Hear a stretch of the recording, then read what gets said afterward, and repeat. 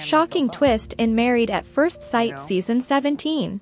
How do you feel? Is Lauren the mastermind behind months marriage meltdown with Orion? It's not like Gaslighting, bad jokes, and oversharing exposed. Brace yourselves as the truth unravels about the doomed love story. Can this couple survive the ultimate relationship test? There is blame on both sides, it looks like Lauren is mainly in the wrong. Lauren and Orion started out their marriage with a lot of potential. They were both attracted to each other and were excited to learn about one another's cultures. There were some initial red flags from Orion after he failed to include Lauren's feelings in his future plans when describing his ideal life to Lauren's dad.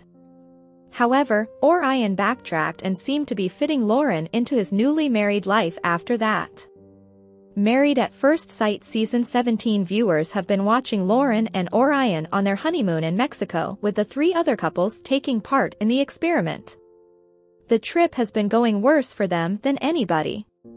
Lauren made an insensitive cultural joke toward her Native American husband that has caused ongoing turmoil.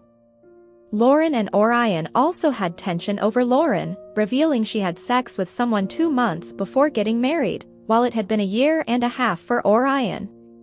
It seemed like they were trying to be resolution-based in the issues they've encountered, but Lauren continues to incite negative situations. Lauren gaslit Orion after wayward sex discussion. Lauren and Orion's sex conversation started well, and the two seemed excited to engage in intimacy in the future. However, when Lauren said she had sex with someone two months ago, it made Orion very uncomfortable. So much so that he told Lauren sex was off the table for him. Lauren was mad that Orion had been turned off and continued the discussion in their hotel room. Lauren was relentless about getting Orion to be comfortable with her recent sexual history. It appeared that Lauren gaslit Orion into saying he didn't have a problem with it to make herself feel better. It seemed like Lauren was trying to coercively control the narrative even though it was her careless admission and bringing up the topic that made Orion feel hurt. Lauren didn't let Orion feel upset by the situation. She sowed self-doubt into Orion's head to make him present as okay, even though he was bothered. Whether she did that to preserve her dignity or to steer their new dynamic away from more drama is unknown, but it looked like Orion was gaslit. Lauren escalates tension in each of the contentious and unfortunate situations Lauren and Orion have encountered, Lauren escalated the issues. Instead of backing down, recognizing her husband was upset, giving him space, and making a sincere apology for the joke she made, Lauren dug her heels in. Orion told her her approach was minimizing the offense, and she kept pushing Orion to explain himself further when the subject was obviously sore and he was hurt. In the wayward sex talk via ET, Lauren kept poking Orion to state his feelings. She reiterated the hurtful message that she had recently slept with someone when she should have respected Orion's uncomfortability. In both situations, Lauren beat a dead horse by escalating and repeating the most difficult points of each circumstance. Lauren said she wanted a divorce Lauren and Orion had a third, more massive implosion that was not caught on camera. Orion let Lauren know he was still offended by her racial remark, and Lauren blew up at Orion and told him she wanted a divorce. The next morning, before having to depart back to Denver, Lauren and Orion had a talk with Pastor Cal, where Orion admitted he couldn't get over the joke and that it was only making him feel worse with time. It seemed like Orion was fed up not only with the insensitive remark Lauren made but also with the ongoing way in which she handles problems. Lauren saying she wanted a divorce is something she is going to have a hard time coming back from. Orion was clearly cut deep by the dialogue, and that escalation is indicative of Lauren's continued bad behavior and outbursts. Lauren admitted to fellow Married at First Sight Season 17 castmate Clare Kerr that she asked for a divorce but said she regretted it.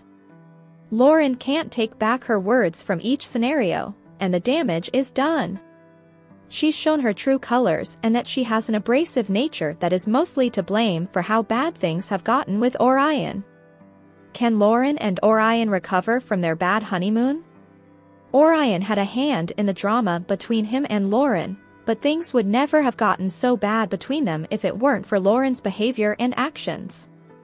Lauren and Orion have a lot of healing they need to do from the things that were said and the ugly situations that transpired during the honeymoon.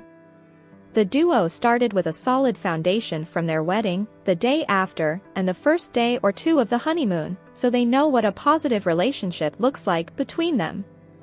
They initially bonded on shared outlooks, intent to empower each other's cultures, and ability to have fun. If the pair can work closely with the experts and remain open to the experience, they still have a shot at a successful marriage. Lauren said at one point she was glad that they were going through the hard stuff now, so less drama could happen later.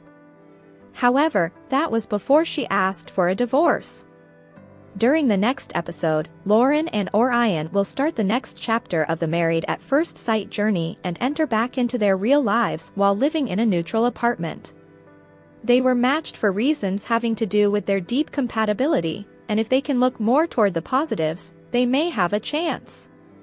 Hopefully, Lauren can change some of her inflammatory behavior, and Orion can find it in his heart to forgive. If they don't de-escalate and unpack the damage done on the honeymoon, they don't stand a chance of remaining together. At this rate, the contentious Married at First Sight Season 17 couple won't even make it to decision day. However, it is still early on in the season, and there is room for each to grow personally and as a couple. Today's next news. Married at first sight star bleeding, to save money on sanitary products a former has revealed she sometimes, free bleeds during her period to save money on sanitary products. Last year makeup artist Domenica Calarco, joined the ninth season of the Australian reality dating series, where she was matched with financial planner Jack Miller. While they split up after cameras stopped rolling, she has since carved out career as an influencer, which includes a podcast with former co-star Ella Ding, as well as an appearance on I'm a Celebrity Get Me Out of Here. Since being on reality TV, Domenica hasn't shied away from sharing intimate details about various aspects of her personal life, with the latest episode of her podcast Sit With Us no different. During it, Domenica was discussing the soaring cost of sanitary products during the cost of living crisis, and shared she sometimes decided to forego them altogether. You could be paying 10 bucks for pads, she said when chatting about using organic sanitary products and how they were less cost-effective than regular tampons and pads. Look, I would like organic cotton in my vagina. But I can't justify spending $10, 5 pounds, for 7 pads. She added, sometimes I'm like, I'm just gonna free bleed in my undies and I'll F asterisk asterisk king wash it. In Australian supermarkets, organic pads can cost about $5 to $6, with 8 to 12 pads per pack. Some organic maternity pads cost up to $10 for a pack of 12. Taking to social media, she shared a photo of a bag of chocolate-covered prunes, which she labeled the period snack that has changed my life. Prunes for the constipation and chocolate because I need it during, she added. Back during her time on MAFS, Domenica was praised for approaching the conversation of period with her partner on camera. Soon after moving in with Jack, Domenica asked her husband how he felt about getting intimate while she was menstruating, to which he explained it had previously been a no-go zone in past relationships. For me, I've always just been very open like that and spoke about, not only my sexuality and all that kind of stuff, but for me having a period and having a menstrual cycle is just normal. Every female goes through it, she added when speaking to 9 Honey. And I think there is still such a stigma attached to when females have their period and how they're meant to feel. Are they meant to feel sexy? Are we even out of that? Can we have sex? How do men feel? She added that the experiment had been a safe space to talk about everything and anything, so she wanted to approach the conversation with her new partner as she found it fascinating. Thanks for watching this videos, please hit the subscribe button for more updated news.